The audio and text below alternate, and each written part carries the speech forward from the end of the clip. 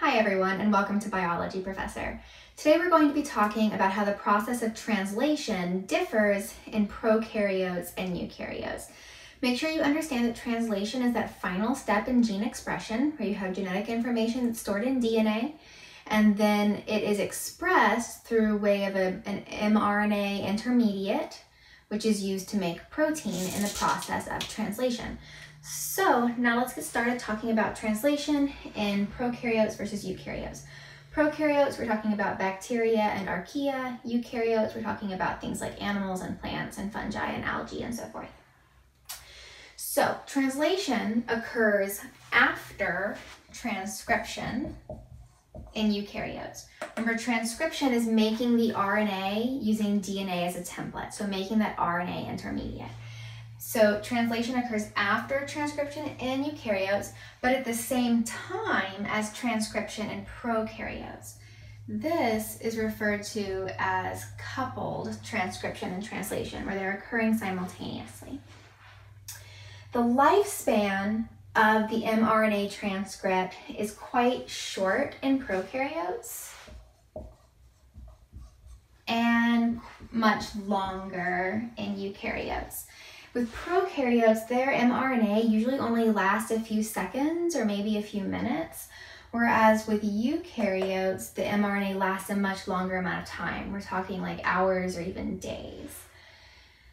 Prokaryotes and eukaryotes also have different ribosomes that they use. Remember that ribosomes are the cellular machinery where the mRNA is used as a template to build proteins. Prokaryotes use 70S ribosomes. Eukaryotes use 80S ribosomes. Here the S is a Svedberg unit. I'll write that right here, Svedberg.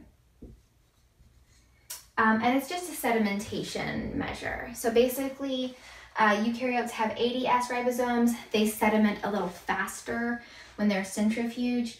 Um, prokaryotes have these 70S ribosomes. They don't sediment as quickly. They're um, a little bit lighter, essentially. And remember that ribosomes are composed of protein subunits and also ribosomal RNA. And so not only are these sizes different, but the actual ribosomal proteins and ribosomal RNA that make up these ribosomes are different in prokaryotes versus eukaryotes. Prokaryotes and eukaryotes do use the same start codon, A, U, G. But upstream of that start codon, prokaryotes have a special sequence. It's AGG, AGG. Remember, A is adenine, uh, G is guanine. And this sequence is called the Shine-Dalgarno sequence. So named for a couple of scientists. The Shine-Dalgarno sequence helps to anchor the 70S ribosome to the mRNA in prokaryotes.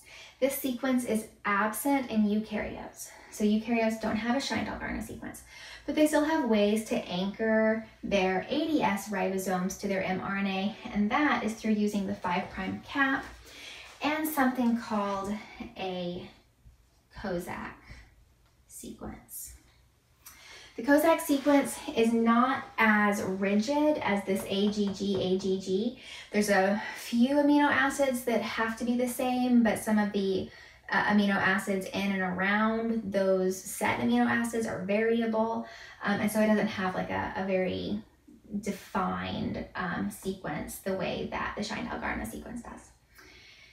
Prokaryotic mRNA also can have multiple start sites. This is called polycistronic. So polycistronic just means that multiple genes can be on one mRNA transcript or the information from multiple genes. And so that encodes multiple polypeptides or proteins. You know, polypeptides and proteins are the same thing. Um, so prokaryotic mRNA may have only one start site and, and only code for one uh, protein, but it can also have many whereas eukaryotic mRNA only ever has one, and that is called monocistronic. So where one transcript results in one polypeptide, and that's always true for eukaryotic mRNA. Prokaryotes and eukaryotes also have different types and numbers of initiation, elongation, and termination factors. So initiation factors are small proteins that help get translation started. Elongation factors are proteins that make sure that it keeps going. And termination factors are um, proteins that help translation end at the appropriate time. And so prokaryotes and eukaryotes have different types of these factors and also different numbers of these factors. Prokaryotic translation is also a lot faster. Prokaryotes can assemble roughly 20 amino acids per second. Remember that amino acids are the building blocks of proteins. Eukaryotic translation, on the other hand, is quite a bit slower, averaging at only one amino acid per second. And also the initiator tRNA in proteins carry, uh, the initiator tRNA in prokaryotes carries a different amino acid or modified amino acid relative to eukaryotes.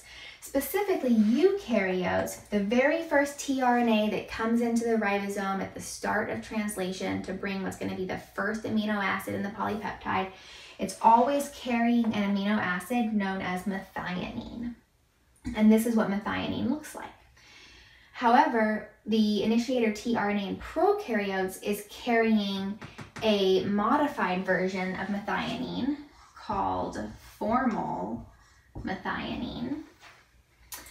Um, and formyl methionine basically just has this formyl group that's shown right here that makes it different from the um, methionine that's seen uh, in eukaryotes and that's seen in other parts of the prokaryotic polypeptide. This formyl group though that's at the very start of the prokaryotic polypeptide, it does get removed when translation is over. Prokaryotes and eukaryotes also use the same universal genetic code. What that means is that in mRNA there are codons, which are sets of three non-overlapping nucleotides that code for specific amino acids. So for example, the start codon AUG always codes for methionine. Um, it's um, going to be this kind of methionine in eukaryotes and this kind of methionine in, in um, prokaryotes, but it always codes for methionine. And then there's other sets of triplets of three nucleotides that code for different amino acids. And that code is the same in prokaryotes and eukaryotes. That's why you can take a gene from a human, like for human insulin, put it into a bacterium, and the bacterium can then make an, a protein identical to what the human cells make because we all use that same universal genetic code. And we all use the same 20 amino acids. But some prokaryotes have two additional amino acids, and those are selenocysteine and pyrrolysine. So some prokaryotes will have selenocysteine and pyrrolysine um, in some of their polypeptides, but eukaryotes um, are just sticking to the other 20 amino acids. If you're interested in learning more about couples transcription and translation in prokaryotes, you can see my video on that topic. Um, you can also see my video on the central dogma of molecular biology, which explains how information travels from DNA through that RNA intermediate into a polypeptide. I've also got a nice video on this universal genetic code explaining how it's used and how mRNA is read to build uh, polypeptides. And then I've also got a video looking at the process of transcription and how it differs in prokaryotes and eukaryotes. So feel free to check out those videos and thanks for watching Biology Professor. I'll see you next time.